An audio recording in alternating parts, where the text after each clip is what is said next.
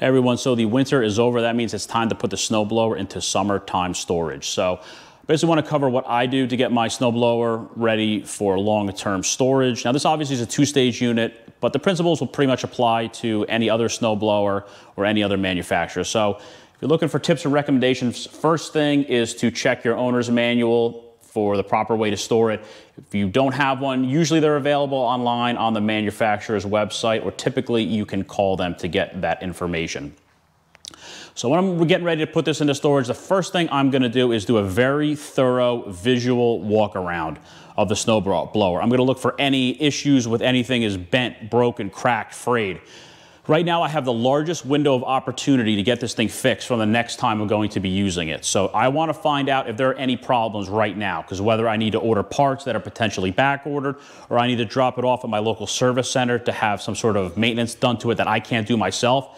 Now I have a big window of opportunity to get it done because I'm not in a rush to use it. So if it takes a couple of months maybe to get a part in or to have something fixed or replaced, I'm not really concerned about it. The last thing you want to do is take this out once the winter comes and find out that something's bent or broken and now you need to use it because the snow is starting to come. So also while I'm doing that thorough visual walk around, I'll typically take a can of usually white lithium grease and I will lubricate any of the related cables, the cable controls for the chutes or the cable controls for the drive system. Any cable that goes into a housing, I want to both coat the cable so it doesn't rust and keep any sort of debris from getting into the housing for the cable.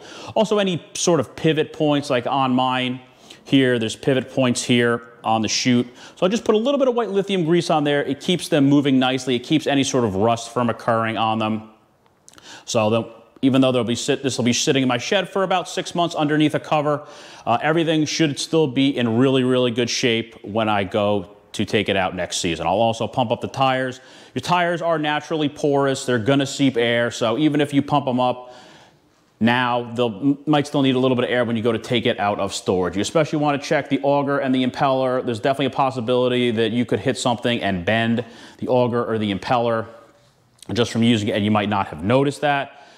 Uh, one thing that's nice that you don't have to worry about the Toro machines that some other machines do is you want to have spare shear pins if your machine takes them. Toro hardens the systems on their machines where they don't need shear pins, which is really nice. You don't have to worry about breaking one of them in the middle of a storm when you're using the machine.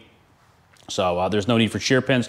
Toro also doesn't have any sort of grease points on there, so you don't have to worry about grease and things like the bearings. They're all sealed, so that's one less maintenance item. Now, the first thing I usually will do after that is you have to address the engine. If there's one thing you do to your snowblower is you have to address the fuel system. Most states now have ethanol blended fuels, meaning there is some percentage of ethanol in the gasoline, whether it's typically E10 is what you're going to find, meaning 10% ethanol, 90% gasoline. If you Take a snowblower with ethanol blended fuels, do not treat the fuel and put it in storage. The next time you go to pull it out, it's pretty much a guarantee it will not run because the ethanol in the gasoline absorbs moisture, it's gonna gum up the carburetor or the fuel injection system, and it's not gonna start. Even if you run your machine out of fuel, there's typically, especially on carbureted snowblowers like this, there is still typically a little bit of fuel inside the carburetor when you run it out of gas. It's sitting in the bottom of the carburetor in the float bowl, and you might have some in the jets, in the intricate small parts of the carburetor. And when that ethanol breaks down and absorbs moisture, it gums up the system, and it is virtually a guarantee it will not run. And to try to get your machine fixed or serviced, the day before a big storm hits, it's probably going to be extremely difficult because this is something that a lot of people run into because a lot of people don't properly prep their snow blowers for storage and especially the fuel system. You have to do this. Even if there's one thing you do, you have to do this more than anything else because it will not run come six, eight months from now with untreated gas because gasoline only is good for about 30 to 60 days if left untreated. Now, there are several options. Like I said, though, just running it out of gas is not enough. It does not get all the gasoline out of the fuel system, especially on carbureted snowblowers. So there's three main options you're gonna have. Option number one, you can use ethanol blended fuels, but you can put fuel stabilizer in it. You put some fresh gasoline in the tank, you mix it with the proper amount of fuel stabilizer, you then run it for a few minutes to make sure that that stabilizer mix that's in the gas gets all the way into the fuel system, and then you're good to go. It's also a good idea to make sure the fuel system is full so you don't get any moisture in it. That's option number one.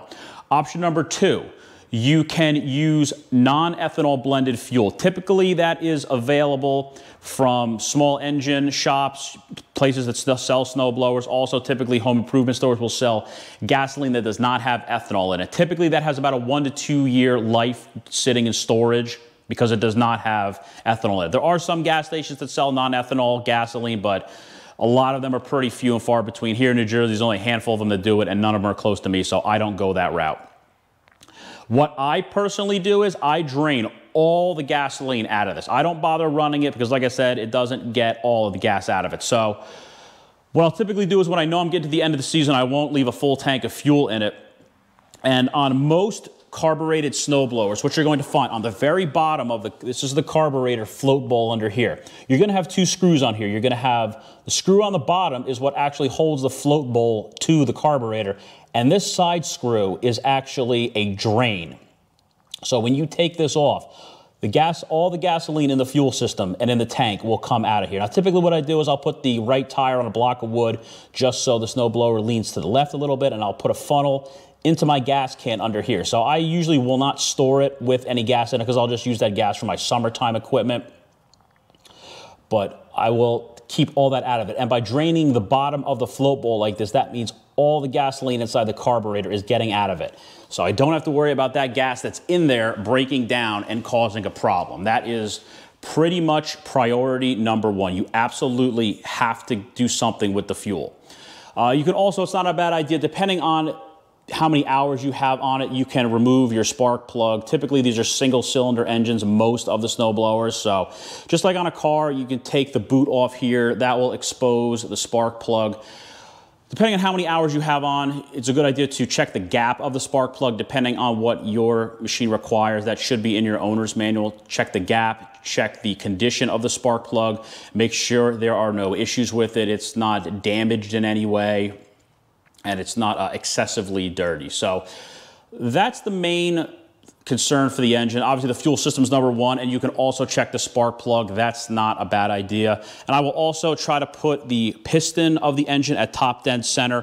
When you pull the pull cord, usually if you pull it slowly, when you feel a lot of resistance, typically that means that the piston is at what they call a top dead center. It's all the way up top. So that means it will keep oil on the cylinder walls. You can also, when you have the spark plug out, you can put what's called a fogging oil in the engine, which will basically leave sort of like an oily residue inside the cylinder to basically keep any sort of rust from occurring if you have it stored in a climate that has high humidity. So that pretty much is going to cover the engine itself. Now, getting into the drive system, uh, the two-stage snowblowers are pretty much always going to have uh, the belts on the front of the engine. So I already went ahead and loosened this up. So this is actually how these snowblowers work. You have a belt system that they use to drive it. So this is something, it is a wear item and you want to check this at least once a season, especially when you're going to put it away. You want to check for anything really with a, that involves a belt driven system frays, cracks. Since this is a rubber product, it will just naturally go bad over time, even if it's not being used. So you just want to make sure that the belts are in good shape, make sure the pulleys feel good. So this is actually how this works is when you engage the transmission, or the auger system rather, to drive it, you are pulling on a cable and it puts tension on the belt. So it's normally slipping because there's no tension on it, but when you put tension on it, it will force the auger and the impeller to drive forward. So you want to make sure that that's nice and smooth. You see I got a little bit of wear here. Just as the belt starts to wear, you get a little bit of uh, rubber deposits on the side there. But everything here looks pretty good. I don't feel anything loose. Uh, the belt has a little tiny bit of fraying on the side, but that's pretty normal. I don't think that's an issue. I'm not too concerned about this. Uh, I already looked at this. It looks really, really good. I don't see any major problems on here. I'll just clean out some of the more common spots. These appear to have bearings on them, so they feel like they're in good shape and uh, everything here feels really smooth. So this is pretty much good to go. I'm gonna button this up after I clean it. And next, what I'm gonna do is I'm gonna put this in the service position and I'm going to basically tilt it on the front of the housing and I'm to show the transmission, explain how these friction disc transmissions actually work and some of the steps that if you want to get this in depth, some of the steps that are a good idea to cover. All right, with the snowblower in the vertical service position, the first thing I did was drain the fuel out of it so there aren't any leaks. I also took the pans off of the transmission. They just have simple hex bolts on them. You can take them off with a wrench or a ratchet. Now, this is something that typically you're not going to find this in the service manual. This is a little bit more involved, but you should either have a professional do this or you should do this yourself periodically to keep the drivetrain in really good shape. Now, most Toros are going to have a transmission set up like this. This is a friction disc transmission as opposed to a hydrostatic, which is hydraulically controlled, and typically you can't maintain those yourself. So for maintaining this, I will be using both my grease gun as well as some three-in-one oil to keep everything in good shape. Now, this is a commercial transmission. This has the triggers on the bottom of the handle.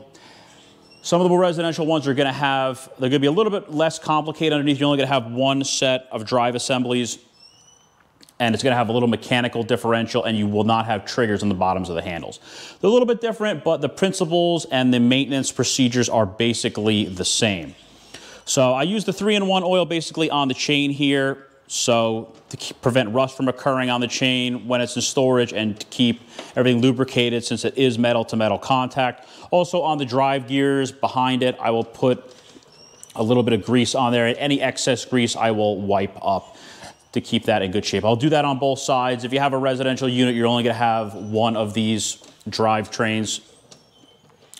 And also there is a shaft here that controls the speed that the snowblower goes. This you wanna put lubrication on here to prevent rust primarily because over time these can start to rust and then they will not shift nicely. One place you do not want to put any lubrication on is this friction disc down here. This is essentially a flywheel and you need to make sure that this is absolutely perfectly clean. If you get a little bit of lubrication on it, that's okay, degreaser, brake cleaner, but you want this to be absolutely clean, no rubber on it, no oil, no grease, because you have essentially this tire here riding on it when the transmission is engaged. And if there is some sort of lubrication on here, this will cause this to slip and essentially the transmission is going to slip and it's not going to drive very nicely. So I already went ahead and lubricated it. As you can see, I have an, a nice coating of grease on the gears. I have a nice coating of oil on the chain, and I have a nice coating of grease on that hex drive shaft. So let me get this camera set up, and I'm actually gonna explain how this transmission works.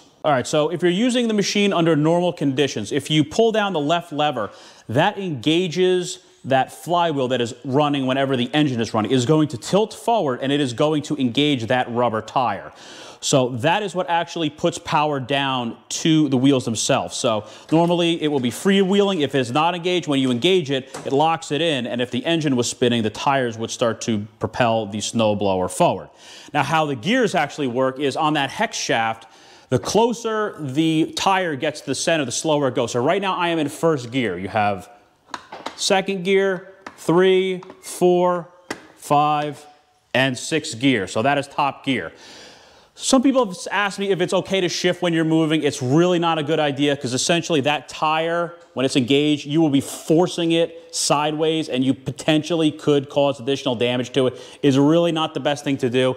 Now, back to first gear, you can see how close I am to the center of that flywheel. Here's reverse one, here's reverse two. So the further away I get on the opposite side, it spins that tire the opposite direction and will cause a snowblower to go backwards. So I'll put it back in first gear now.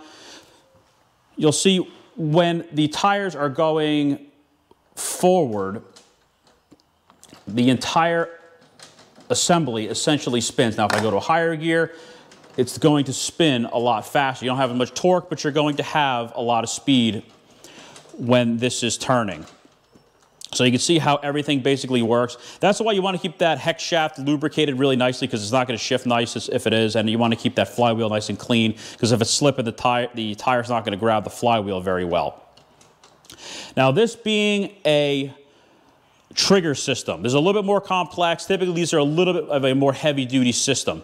When you engage disengage the trigger to turn. Let's say I want to make a left turn. I'm going to pull that left trigger. You're going to see that's going to unlock the axle. And essentially this is going to allow the left side to free spin and it will still provide power to the right side. Now when I let go, it re-engages the system and it will keep the axle locked. A little bit more complex. These have a little bit more of a learning curve trying to remember to use the trigger system, but uh, it's like I said, a little bit more of a heavy duty system. The auto steer systems with the mechanical differential are still really good. Toro has pretty much perfected them and it is a little bit less complicated underneath. So you can see there's a lot going on here. Like I said, you engage that left turn, disengage, let go, re-engage. But having not having the triggers is actually pretty nice. It actually makes it a, a lot easier just for anybody to be able to use this without having a problem. So it looks like there's a lot going on under here, but it's relatively simple. Again, you engage the transmission, that comes up, makes contact, and if the engine was running, it would be propelling forward. Right, and right now it's just free spooling because there is no contact. So this is why you really want to make sure all this is nicely lubricated. This is clean, your tire's in good shape because if this starts to get beat up, it's gonna slip when it's on the essentially flywheel and it's not going to engage nicely. So I've had a lot of people ask me how these work. That's essentially how these systems work and just make sure everything under here is not bent, broken, or there's no problems. So I'll get this back up on this and I'll just cover a few more points. All right, so the snowblower is almost ready for summertime storage. The engine and fuel system have been dealt with.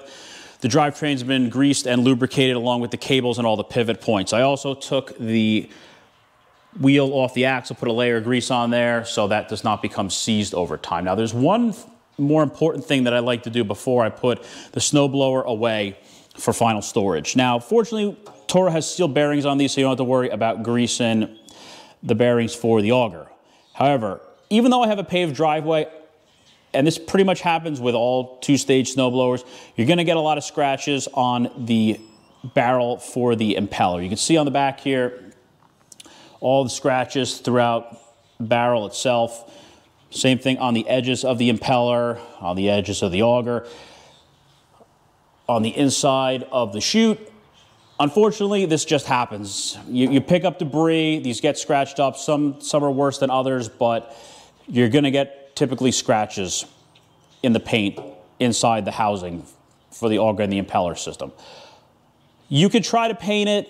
It's kind of difficult, and these are some intricate places, and they'd be probably kind of tough to paint, and then next year they're probably gonna get scratched up again. So what I do before I put this away for storage is I take my can of WD-40 and I put a very heavy coating on all of this. On the inside of the chute, and the inside of the housing here for the auger and the impeller inside the barrel in the back there. Anywhere there is bare metal gets a very heavy coating of WD-40. That is what WD-40 is designed to do. It's designed to be a moisture barrier to keep water and moisture off of metal surfaces to prevent them from rusting. So when I do a very heavy coat, it usually lasts the entire summer. And when I come to take this out again for wintertime usage, it looks the same. It's not all rusted up and it's ready to go without having to deal with painting it. So I'll put a nice heavy coating on this. I'll take this over to my shed, put in storage, and then I will put the cover on it to keep it nice and clean while it's in storage in the shed for the summertime season. So I hope everybody enjoyed the video. Thanks for watching.